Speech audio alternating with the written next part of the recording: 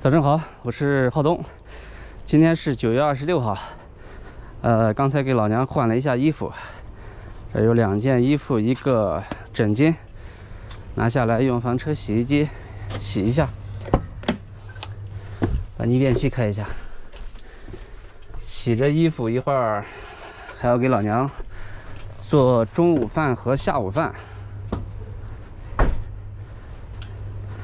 本来现在还是。呃，一天有二十个小时左右吧，都是都是在昏睡啊，脑部血液循环还是不是太好啊，所以要做做成流食啊。哎呀，这都是拍的片子呀，片子先放床上。房车停在医院里边，就好像是家在跟前一样，干啥都比较方便。打开电源啊，标准清洗二十九分钟。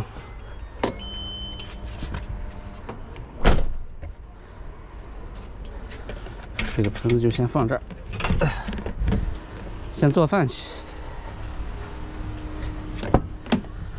早晨给老娘做一个肉汤吧，做肉汤，做个鸡肉的。我这儿有牛肉、猪肉、鸡肉啊，三样每天换着吃。今天该吃鸡肉了。早晨吃饭碗还没洗呢，早上起来时间比较紧急啊，先切一块鸡肉。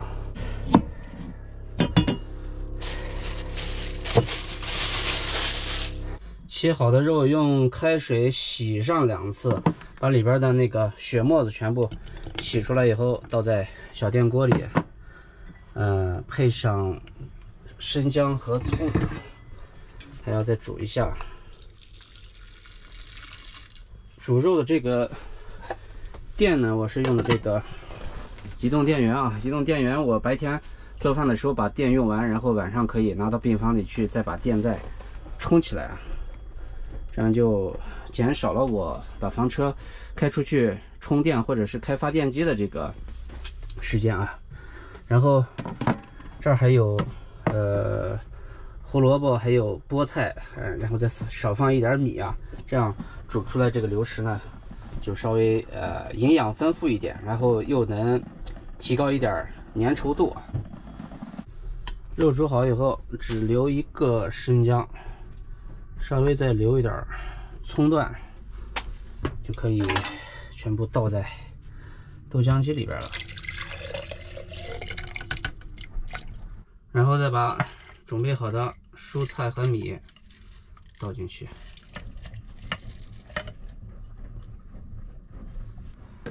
盖上盖子，选择豆浆。半个小时以后，饭就做好了。把刚才用过的锅碗洗一下。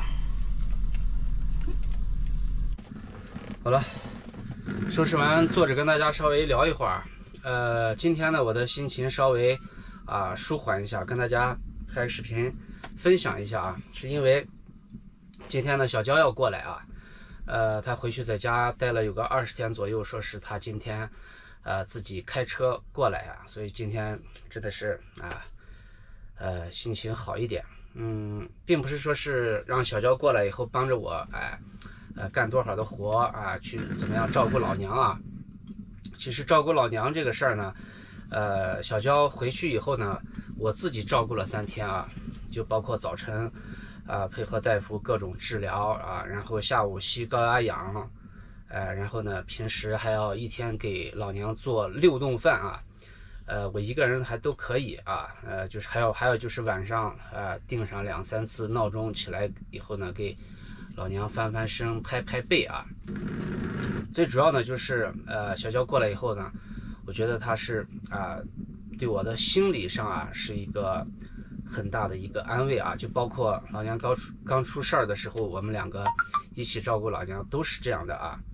呃，他给了我这个心理上非常大的一个支持啊，支持我能够把这些事儿都呃扛起来啊，因为我家里就我一个嘛啊，独生子女啊，老娘啊出了这么大的事儿，确实对我的这个精神压力也是非常大的啊，嗯。